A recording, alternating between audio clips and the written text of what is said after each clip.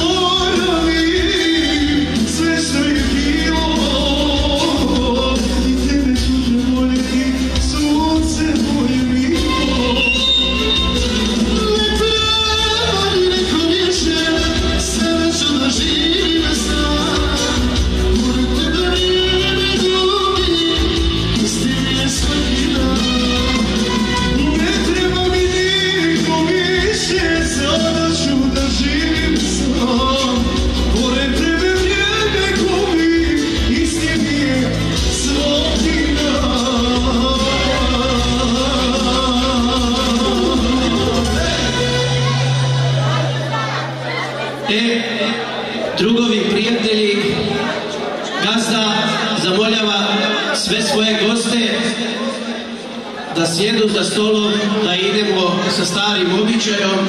Unaprijed se zahvaljuje sve koji su došli, da mu uveličavaju veselje, sinu i snahi. Puno se zahvaljuje od srca. Posle običaja zamoljava,